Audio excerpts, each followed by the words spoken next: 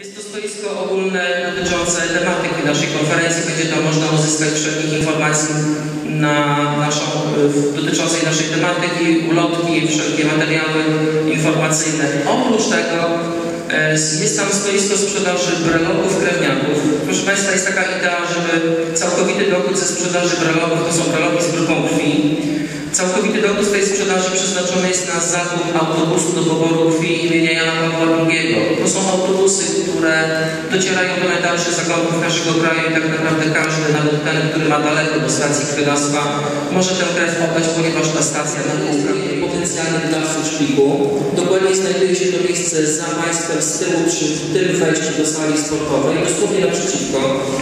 Każdy, kto odczuje potrzebę i zechce zostać potencjalnym dawcą szpiku i komórek mężczyzny, oczywiście może tam pójść w każdej chwili zasięgnąć opinii i również zarejestrować. Serdecznie zapraszam. Tam na pewno Pani Magdalena wszystkich z Państwa spotkacie. Ja pomogę może. No, Rodzina dziewczynek, oczywiście przedstawiciele Proszę pisać spakowanymi karami. Tutaj wpisujemy TOM pytania. 001. A jeszcze chwilka.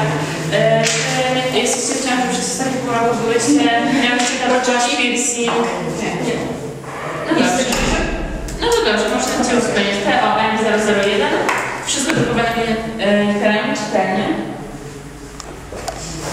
I normalnie zapisujecie wszystko. I pan Marek koniecznie Ja od 15 lat zajmuję się edukacją społeczeństwa, przede wszystkim ludzi młodych, w celu zapewnienia krwi wszystkim potrzebującym. Trzeba dotrzeć do ludzi młodych, którzy właściwie docierać po to, żeby była to rzetelna informacja na ten temat.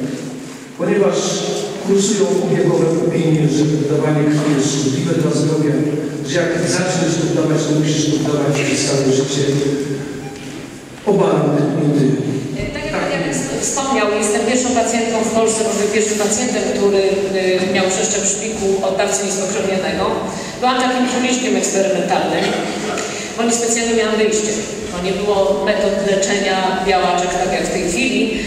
E, I tak naprawdę ten przeszczep to był jedyną szansą. Przed przeszczepem dawano mi 20% szansy na przeżycie, po przeszczepie na skutek przedpowikłań tylko 5. Jak widzicie się udało. Jestem taką wizytówką, panie doktorze, polskiej transplantologii, jeśli chodzi o, o przeszczepy szpiku. Dawca sam jest w stanie zdecydować co do metody, czy jest to w jakiś sposób narzucane, jakie są wtedy kryteria dla niego. Absolutnie dawca decyduje o metodzie i terminie pobrania.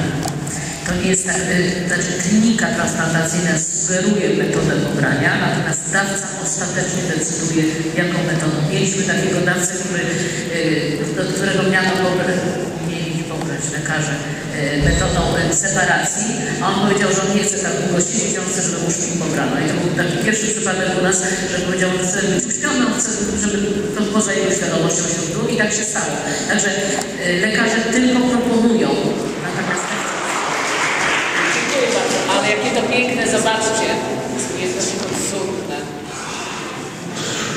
Dziękujemy jeszcze raz. Dziękujemy Pani Agacie Maraszek, przedstawicielce DKMS Polska.